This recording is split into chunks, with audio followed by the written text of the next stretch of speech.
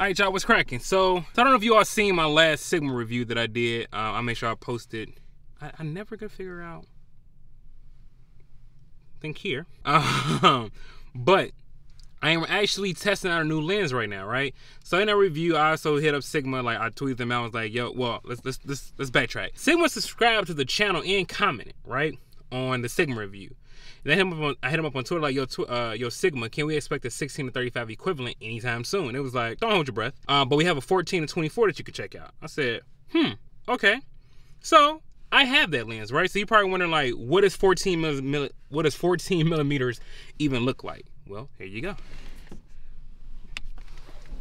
That is me extended all like you see so much more shit in my car. Look at all of this. Ugh. I, I get the wide angle lens, but I'm not gonna lie to you. They said it on Twitter. I'm like, I should be fine, but the lens is kind of heavy. But um, that's not what today's video about. Let's go ahead and zoom y'all back in. That's a smidge there. Uh, but right now we're about to go to the lake. Chicago is like starting to thaw out a little bit here, and now like the water and the ice is starting to break apart. So the water is looking like really nice, pretty, and blue. So I kind of just want to show you what my city look like. You know, what's what's that looking like? So I'm gonna get some drone footage. Want to talk some shit and um test out this new lens again, when I say test out this new lens, it's it's not mine. I have to return to my boy MTA uh, M2A Photography. Uh, but I appreciate you for letting me borrow, brother. Thank you. All right. I don't even know if y'all can even see me right now because I'm trying to expose properly for S Cinetone. But um, I just want to kind of talk to you all real quick about the cons, like the real quick cons that I immediately noticed about this lens that I want to discuss with y'all real quick. I don't remember if I said this early in the video, but let me go ahead and say it again. Weight of this lens I hate to say it I really want this lens to be a smidge lighter. It's very equivalent to my Sigma 24 to 70, which is crazy, right? It has a lot more focal length versus this 14 to 24. That's the first thing. The second thing, I'm, the second con I've noticed about this lens is like the fisheye look. So because it kind of like bulges, I'm going to stretch like all the way out to 14 mil. Like over here, my face, you get like that real distorted look, like for real, for real. Um, so those are like the first, the the two of the biggest cons I noticed so far. Uh, pros, I love the way it looks, love the way it handles, and like the fact it's an internal zoom. So when you zoom in or out, you're not seeing like the actual, like it doesn't have to extend out or anything like that. It's, it's internal. I just said that. So let's go ahead and get out and check my, uh, check out, check out this view real quick. I feel like that's good enough. Let's move y'all back out just a little bit too close. All right, yeah, you're a little crooked, but you'll be fine. Let's go ahead and set this drone up pretty much the reason I'm out, I'm out here even doing this, like I said, I've always wanted to kind of get this shot where it's like kind of golden hour. I got the ND filters on here. Um, also too, I end up leaving out to get my wife just a little bit too early, so I need to kill some time. Um, this happens to me more, more often than not. So yeah, I ain't gonna lie. Also too, to be real, just kind of like living in Chicago, I love having a wide angle lens because if I look here, I can check my surroundings. You feel what I'm saying? Like to be real, sometimes I kind of like don't like vlogging uh, like in my city. Just sometimes, like I feel like I, I, gotta always be aware of my surroundings, which you should be anyway.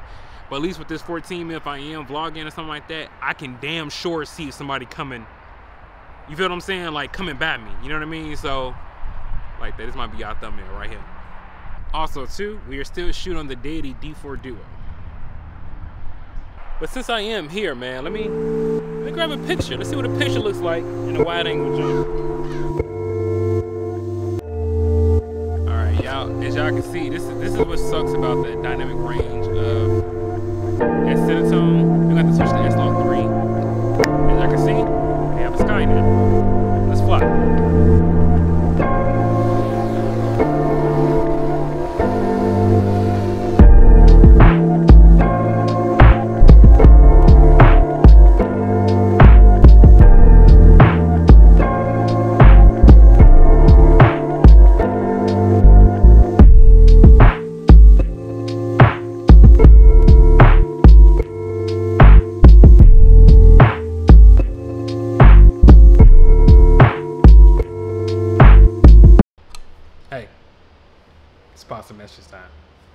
If you're looking to start a YouTube channel, then you're in luck. Here at Brooks Media, we cover all the things you need to know in an hour-long consultation.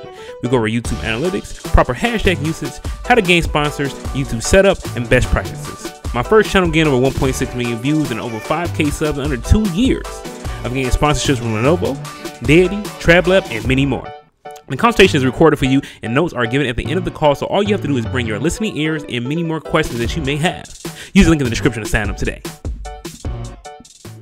So with this lens, kind of also forgot to mention with this lens having that like that you know fish eye lens and that kind of distorted look on the sides here, especially.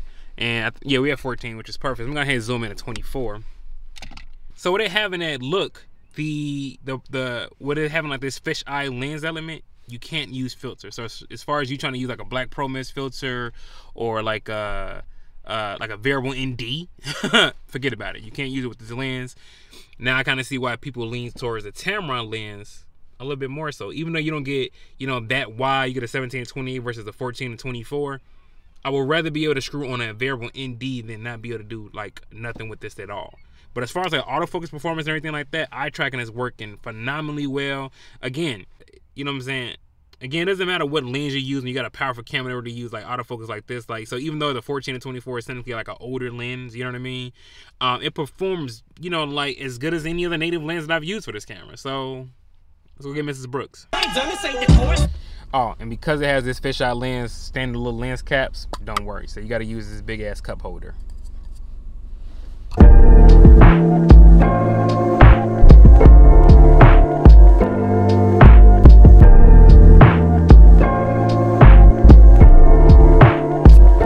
Right, y'all, we are done. The video is coming to a wrap now. Uh, let me all know what you thought about the audio today, what you thought about the lens, the drone shots, but I kind of just wanted to show you my city in this ice capades.